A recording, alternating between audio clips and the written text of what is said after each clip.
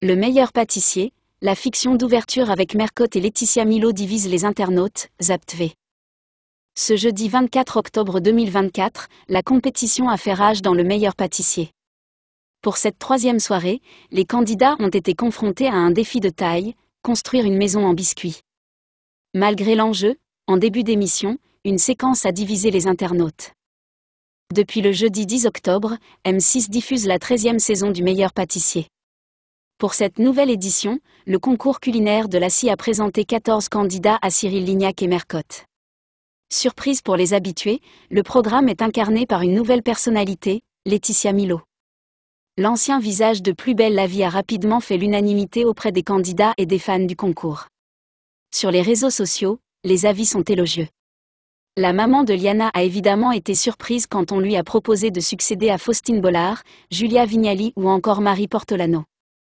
Il recherchait une comédienne, et vraiment une comédienne dans tous les sens du terme. Donc en gros, si ce n'est pas toi, c'est une autre comédienne, a partagé la présentatrice au micro de Voici. Le métier de comédienne m'a sauvée sur plein de tableaux dans le meilleur pâtissier, a-t-elle poursuivi. Un défi réussi?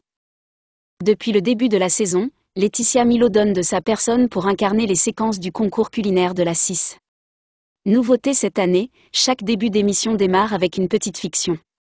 Ce jeudi 24 octobre 2024, alors que la soirée était placée sous le signe du biscuit, avec un défi de taille, la scénette d'introduction a semblé diviser les internautes la production a décidé de faire jouer à Mercotte et Laetitia Milo une scène culte du célèbre Petit Chaperon Rouge. Mercotte, dans le rôle de la grand-mère, n'est pas passée inaperçue auprès des internautes. C'est certain, Mercotte prend plaisir à jouer avec Laetitia Milo. Du côté des internautes, ils sont plus mitigés, notamment concernant cette séquence. Non, je ne peux pas, c'est vraiment trop cringe leur court métrage à chaque épisode, j'en ai pour des années de cauchemar, peut-on ainsi lire sur X? A l'inverse, de nombreux téléspectateurs se sont amusés du rôle de Mercotte, mettant en avant son autodérision et sa complicité avec Laetitia Milo. Il faudra s'habituer, chaque émission commencera désormais par une petite fiction.